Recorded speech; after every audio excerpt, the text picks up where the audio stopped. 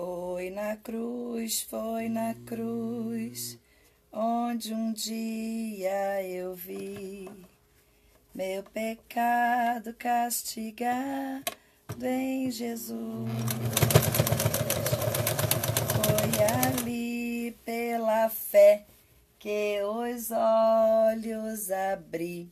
E agora me alegro em sua luz. Eu ouvia falar dessa graça sem par que do céu trouxe o nosso Jesus. Mas eu surdo me fiz, converter-me ao Senhor que por mim morreu na cruz. A paz do Senhor Jesus, queridas e queridos. Eu tô aqui inventando moda. Mas, na verdade, eu vim falar com vocês sobre algo muito importante para as nossas vidas.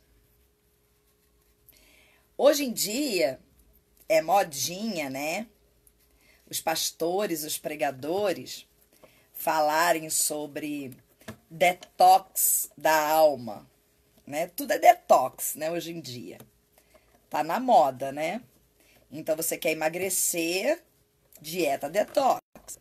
Você quer é, sei lá, é, detox da alma, né? Tudo é detox, porque é modinha. Mas a minha avó Candinha, lá em Veracruz, ela falava assim: que a gente precisa todo dia é, dar uma olhada nos nossos pensamentos e perceber se tem algum pensamento na nossa cabeça que é um passarinho fazendo ninho. Olha, menina, tu tem minhoca na cabeça? Às vezes é passarinho fazendo ninho. Às vezes é minhoca na cabeça. E, aleluia, olha minha mana aí. Giovana, minha mana de sangue. E as minhas manas aí de sangue também, porque é o sangue de Jesus.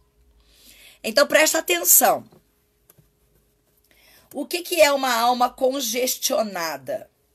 Uma alma congestionada é uma alma que tá suja, tá carregada de lixo.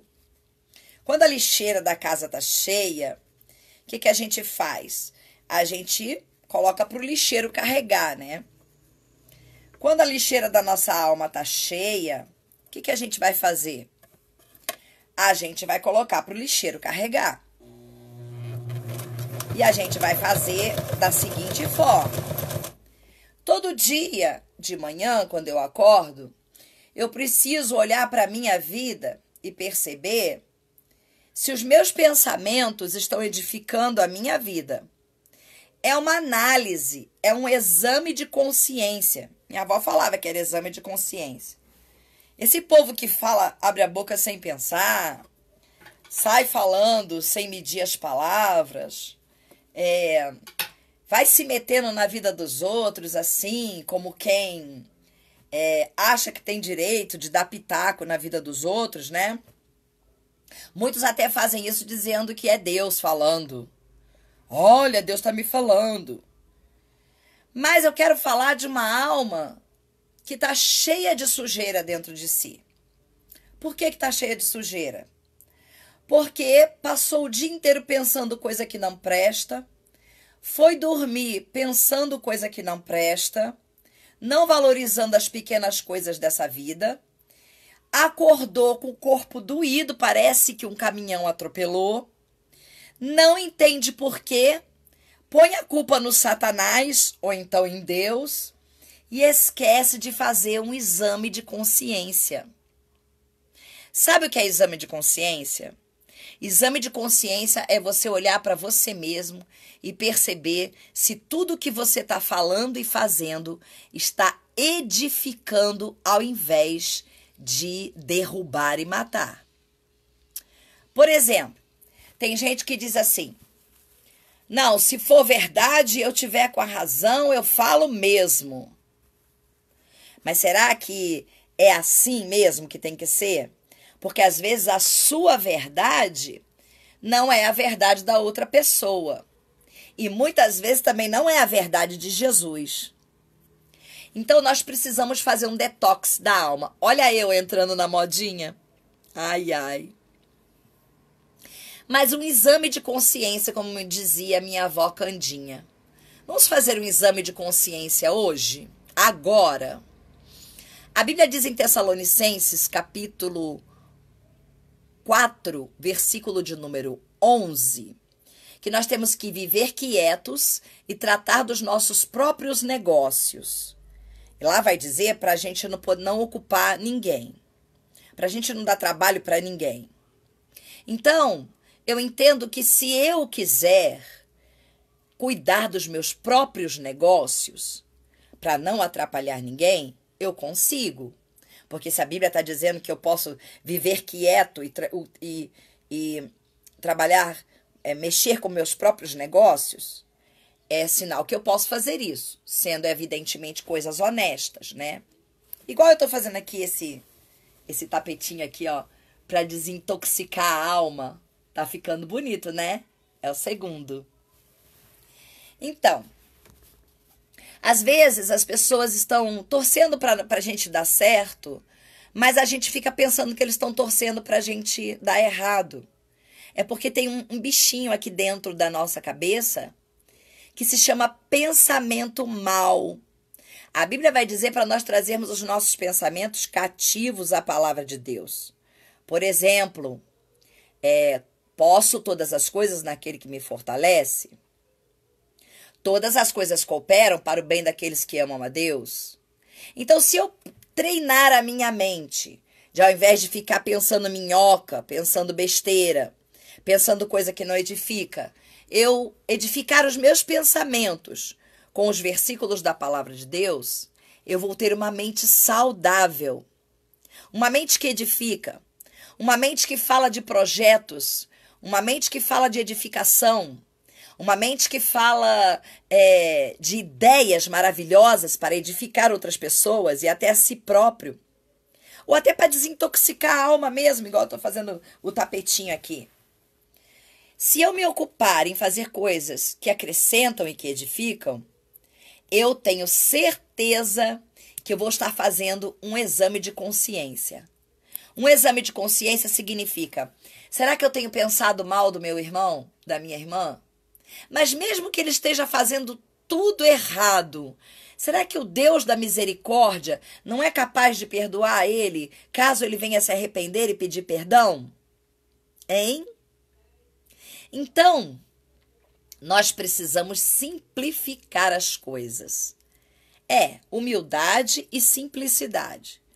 Porque modinha mesmo, modinha mesmo é ser sincero, ser honesto e não desejar o mal a ninguém. Modinha mesmo é ser alguém que edifica outras pessoas. Modinha mesmo é combater o mal com a verdade, mas a verdade de Cristo, não a minha verdade nem a tua verdade. Você está entendendo? Então, se eu fizer assim, eu vou estar edificando a minha casa, edificando a minha casa espiritual, que é a minha tricotomia, meu corpo, minha alma e meu espírito, através do Espírito de Deus, certo? Algumas pessoas preferem não se envolver em coisa alguma, preferem ficar quietas nos seus cantinhos, a Bíblia diz: vivei quietos. Mas viver quietos não significa que eu não possa trabalhar, que eu não possa lutar e que eu não possa ser uma pessoa que influencia outras pessoas a fazerem aquilo que também edifica. Viver quieto significa que eu não vou me meter aonde eu não sou chamado e aonde Deus não está mandando eu ir. Se eu fizer isso, eu estarei quieta, mas não é quieta, trancada dentro do quarto, só dormindo, morrendo de depressão. Não. É quieta cuidando de projetos. Quieta, com a boca fechada, trabalhando para Cristo, ganhando almas para o reino. Quieta, com a boca fechada, mas com a alma aberta para receber tudo que Deus tem para nos dar. Certo? E assim fazendo um exame de consciência, percebendo da onde eu estou sendo útil e aonde eu não estou sendo útil. Se eu não estou sendo útil, é melhor, aleluia, eu me colocar numa posição de quem analisa a minha própria alma, não a alma dos outros. Porque talvez eu não esteja fazendo aquilo que de fato eu deveria estar fazendo para ser útil. E se eu não consigo, aleluia, ser útil, eu preciso buscar em oração algo que dê utilidade para a minha vida. Porque ser útil, ainda que a sua utilidade não apareça para ninguém, é ocupar a sua mente, a sua alma com coisas que vão edificar a sua vida, certo? Então, eu tô aqui fazendo um tapetinho. E eu gostei tanto desse tapetinho, sabe? Eu acho que dá até para dar de presente para alguém. Assim, para edificar a vida de alguém, né? Essas doações aqui foram doações de retalhos que eu ganhei da Santa Casa de Misericórdia, que a irmã Rose me levou lá. E eu ganhei esses retalhos lá da Casa Santa Casa. E eles estão parados já há muito tempo. E eu agora estou tentando fazer alguma coisa com eles. Além do pão de queijo, além do brigadeiro, além de tantas coisas que eu já procuro fazer para edificar a minha mente. Para que a minha mente não seja moradia de Satanás para que a minha mente não venha nascer minhoca, nem passarinho venha fazer ninho na minha mente, na minha cabeça. Certo? Sabe por quê? Problemas e confusões sempre vão existir na vida das pessoas e nas nossas vidas também. Mas que não sejamos nós o motivo delas, certo? Que nós tenhamos sempre uma palavra para a edificação das vidas. Então, vamos fazer tapete? Olha, tá ficando bem bonito, olha. Se você achou que tá bonito, fala joinha aí pra mim que tá bonito. Sabe, irmãs, eu quero fazer uma oração com você nesta manhã. Eu quero fazer uma oração neste comecinho de tarde. Eu quero fazer uma oração para você. Não sei que horas que você vai ver esse vídeo, se vai ser de manhã, se vai ser de tarde, se vai ser à noite. Mas eu quero fazer uma oração com você uma oração para que Deus ele venha é, ensinar a você a fazer um exame de consciência e buscar novos rumos, nova direção, coisas maravilhosas para você fazer, para você ser edificada e edificar a vida das pessoas. Ah, missionária, mas eu não tenho talento para nada. Você tem sim. E Jesus vai te revelar nessa oração. Vamos orar? Pai eterno, Salvador amado, Deus Santo, Todo-Poderoso, em nome de Jesus Cristo, ó Pai, eu venho te pedir nesta oração, meu Senhor, que o Senhor venha edificar a mente de cada um desses que está aqui nesta, nesta transmissão ao vivo, Senhor. Meu Pai, que não, eles não venham viver de modinha, mas que eles venham viver do conceito da tua palavra que é antigo e eficaz. Senhor, em nome de Jesus Cristo, ensina tuas filhas a fazer um exame de consciência, Pai, para que elas tenham sempre, todos os dias, a mente limpinha, Senhor, para poder que o Senhor venha depositar projetos maravilhosos na vida delas. Pai, eu oro crendo que cada mulher, cada homem, cada criança, cada pessoa que está me assistindo nessa hora possa receber de ti, Senhor da glória. Aleluia uma palavra que vá edificar a sua mente para que eles tenham utilidade nas suas famílias, no reino de Deus e para si mesmos. Que eles possam olhar para si mesmos e perceber que são muito importantes para Deus e para si mesmos. Que esse corpo nosso, essa mente nossa, não está aqui neste mundo por acaso, mas que nós sejamos luz e sal aonde nós formos. Ei, que tal fazer uma lembrancinha e dar de presente para alguém? É, vai deixar alguém feliz e vai deixar você também feliz, sabia? Quando a gente doa uma parte de nós, uma coisinha de nós, a gente está doando uma parte do nosso coração e fazendo alguém feliz. Que Deus abençoe imensamente o seu dia que você pense no propósito da sua vida nessa terra. E que você não deixe passarinho fazer ninho na sua cabeça e nem a minha avó te exortar como ela me exortava dizendo: "Menina, tá com minhoca na cabeça". minhoca bicho de chão, não é bicho para andar na cabeça de ninguém, tá? Que Deus abençoe você poderosamente. Que Deus abra a tua mente. Medita lá.